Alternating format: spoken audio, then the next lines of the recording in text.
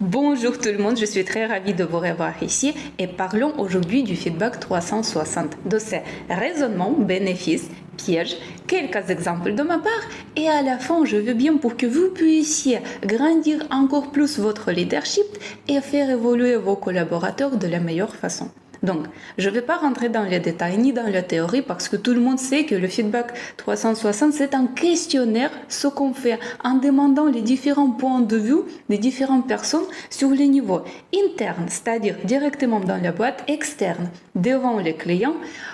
Horizontal, c'est quand on cherche voir qu'est-ce qu'ils pensent le collaborateur entre eux concernant notre collaborateur et aussi vertical, c'est quand on demande les points de vue des managers. Et donc, mon objectif ici, c'est de partager avec vous mes réflexes et mes observations qui pourraient vous amener vers les insights utiles concernant le feedback 360. Et donc, alors, pourquoi le feedback 360 peut être bon? Quels sont-ils mes raisonnements? Et là, premièrement, quand on demande une personne, elle va nous donner un point de vue. Et quand on demande plusieurs personnes, comme ça on va avoir beaucoup de différents points de vue et ça va nous permettre mieux analyser pour prendre les décisions. Et c'est toujours mieux que prendre la décision en basant que sur un seul point de vue quand on demande une seule personne, soit sur mon, mon point de vue propre quand je demande personne. Deuxièmement, pourquoi c'est bien? Parce que en parlant, on fait toujours attention sur ce qui est important pour nous-mêmes. J'explique maintenant, pas de, pas de stress. Quand quelqu'un demande mon point de vue concernant une autre personne, qu'est-ce que je vais faire? Je vais répondre à travers des choses qui sont importantes pour moi-même. Par exemple, je vais dire, hein, il est ponctuel ou il n'est pas ponctuel? Pourquoi? Parce que être ponctuel, c'est quelque chose d'important pour moi. Soit je vais dire, ah, il est communicatif, soit il n'est pas communicatif. Pourquoi encore une fois? Parce que la communication est importante pour moi. Soit je vais dire, ah, il est rigoureux, soit il n'est pas rigoureux. Encore une fois, parce que rigorosité, c'est quelque chose d'extrêmement important pour moi-même. C'est-à-dire que je vais estimer cette personne à travers de mes propres qualités, soit des défauts, soit des atouts qui sont vraiment importants pour moi.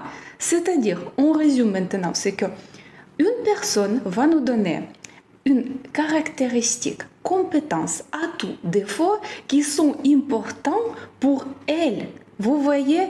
Et quand on demande plusieurs personnes, comme ça, on va récolter une image complexe avec beaucoup de différentes caractéristiques, compétences, atouts, défauts que les différentes personnes vont nous donner et comme ça on va savoir qu'est-ce qu'il pense de notre collaborateur, qu'est-ce qu'il a, on va avoir son profil complet. Vous voyez, c'est ça.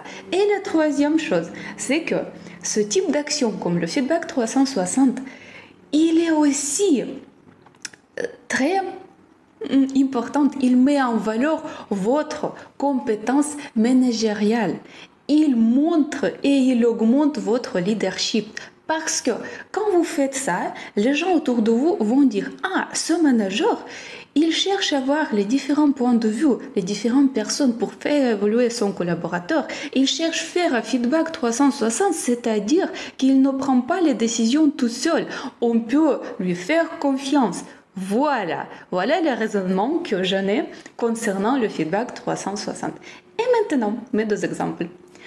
À vrai dire, une fois, un de mes collègues il m'a demandé de faire pour lui la recommandation sur LinkedIn. C'était la première fois que je le faisais. Je ne savais pas du tout comment il faut le faire, qu'est-ce qu'il faut mettre dedans. J'ai cherché un tout petit peu voir sur des autres profils comment les gens font.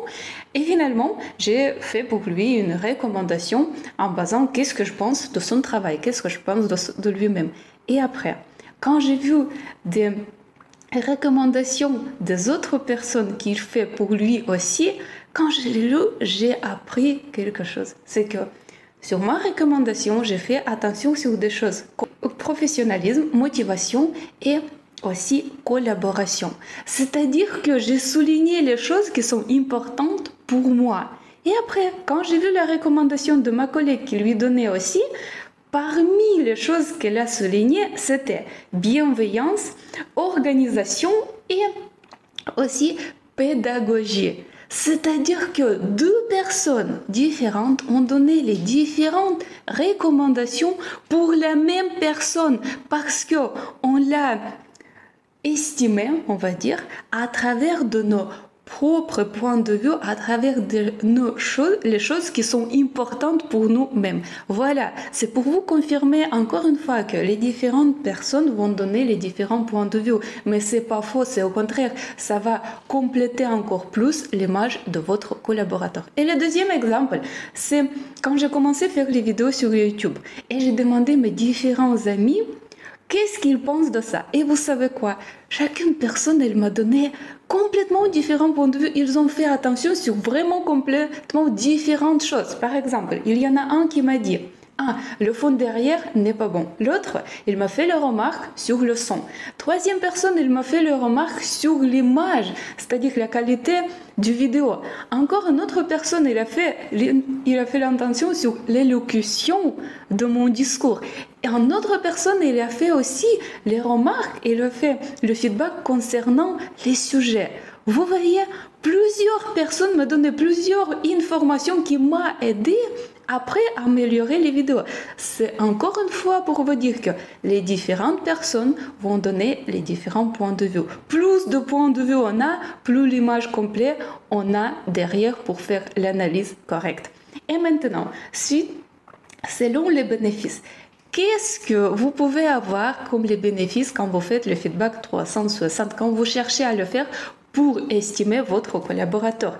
Et ce n'est pas pour rien pour vous non plus parce que vous avez gagné. Premièrement, ayant les différents points de vue, ça va vous permettre d'ouvrir, agrandir encore plus votre état d'esprit et voir les différents spectres d'idées, les potentiels, les visions, les possibilités pour vous et pour votre collaborateur aussi. Deuxièmement, qu'est-ce que ça va vous permettre?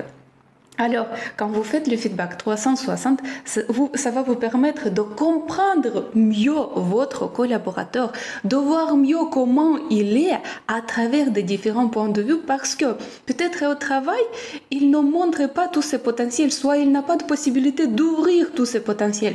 Et à travers les différents points de vue, vous pouvez voir qu'est-ce qu'il peut encore comment il peut travailler mieux, qu'est-ce qu'il peut lui aider pour être encore plus motivant, qu'est-ce qu'il sait faire encore? Bon, deuxième bénéfice que vous pouvez avoir, c'est que quand, pardon, troisième, pour, ça va vous permettre aussi de comprendre mieux les gens que vous êtes en train d'interviewer. C'est-à-dire que les personnes qui vous donnent le feedback, vous pouvez voir aussi comment il, elle est cette personne, qu'est-ce qui est important pour elle? Est-ce qu'elle parle que des choses positives ou est-ce qu'elle parle que des choses négatives? Ou est-ce que c'est mélangé? Est-ce qu'elle est critique ou non? Et ça aussi, c'est très riche pour vous en tant que manager de connaître mieux les gens autour de vous.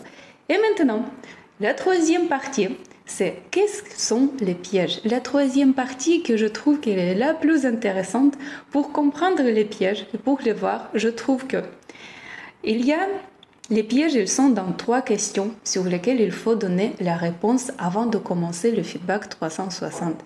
Et parce que de vos réponses vont dépendre les résultats de cette analyse. Et donc, les questions.